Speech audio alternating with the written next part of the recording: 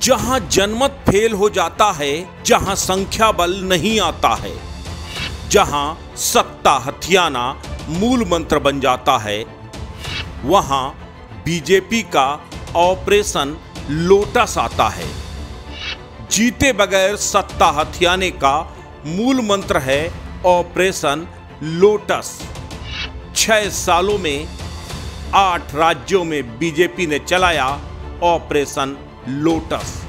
चार राज्यों में मिली कामयाबी, तीन बार बीजेपी ने मुँह की खाई। इस बार महाराष्ट्र में भी आकर सरकार गिराई। महाराष्ट्र में एक नाथ शिंदे की बगावत के बाद अब महाराष्ट्र की महाविकास अघाड़ी सरकार गिर गई। लेकिन महाराष्ट्र में शिव सैनिकों की बगावत के बीच बीजेपी के ऑपरेशन लोटस का ज़िक्र बार बार आता है। तो आखिर क्या है बीजेपी का ऑपरेशन लोटस और इसका महाराष्ट्र की सियासत से क्या कुछ ताल्लुक है? इसे समझने की ज़रूरत है। ऑपरेशन लोटस बीजेपी की उस स्ट्रेटजी के लिए गढ़ा गया शब्द है, जिसमें सीटें पूरी न होने के बावजूद पार्टी सरकार बनाने की कोशिश करती है। पिछले छह साल के दौरान सात राज्यों में बीजेपी ने ऑपरेशन लोटस चलाया। इसमें चार बार बीजेपी को सफलता मिली जबकि तीन बार बीजेपी को मात खानी पड़ी। आठवां राज्य इस बार महाराष्ट्र बना। है भले ही बीजेपी का ऑपरेशन लोटस सात में से तीन बार असफल रहा, बावजूद इसके चार बार बीजेपी बिना बहुमत के सत्ता पाने में कामयाब रही। और इस कामयाबी के पीछे की वजह बीजेपी के चाणक्य कहे जाने वाले अमित शाह हैं। अमित शाह के पास बीजेपी के नेताओं की एक बड़ी टीम है। अलग अलग राज्यों के लिए अमित शाह अपने अलग अलग सातिर सिपह सालारों की नियुक्ति करते हैं। उन्हें ऑपरेशन लोटस को कामयाब बनाने का जिम्मा सौंपते हैं। अतीत में अगर जाएँ तो बीजेपी के ऑपरेशन लोटस की शुरुआत 2016 में हुई।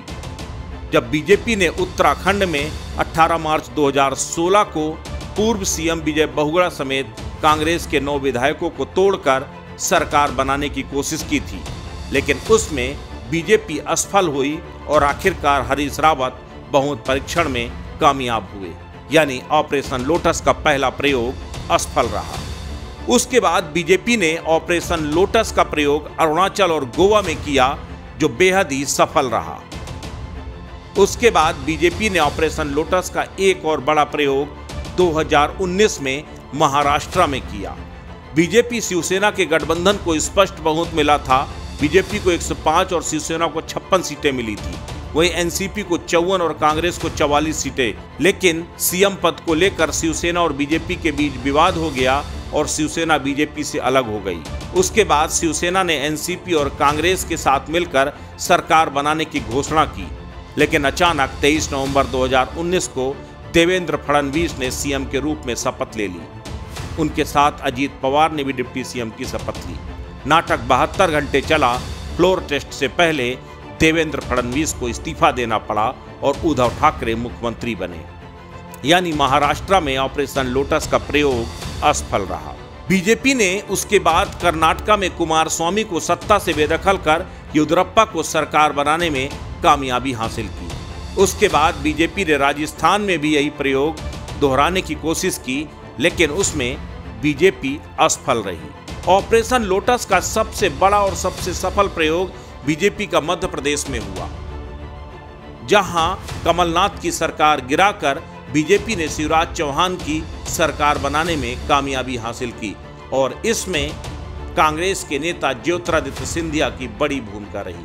बाद में ज्योतिरादित्य सिंधिया बीजेपी में आकर के अब केंद्र में मंत्री हैं। एक बार महाराष्ट्र में मुँह की खाने के बाद बीजेपी अब फूक फूक कर कदम रख रही है। बीजेपी इस बार एक नाथ शिंदे की बगावत के बाद अब तक अपना मुँह नहीं खोला है। फ़िलहाल बीजेपी वेट एंड वॉच की स्थिति में है। लेकिन जिस तरह से एक नाथ शिंदे के साथ 40 से ज़्यादा विधायकों की बगावत हुई है, उसमें सीधे तौर पर समझा जा सकता है कि महाराष्ट्र में अब उद्धव सरकार का पतन हो चुका है। मुख्यमंत्री आवास से उद्धव ठाकरे ने अपना सामान भी समेट लिया। और अब वह मातोश्री में दोबारा शिफ्ट होने जा रहे हैं। यानी साफ़ है कि उद्धव ठाकरे अब मुख्यमंत्री नहीं रहे। अस्तित्व न्यूज़ के लिए महाराष्ट्र से प्रवीण तिवारी की रिपोर्ट।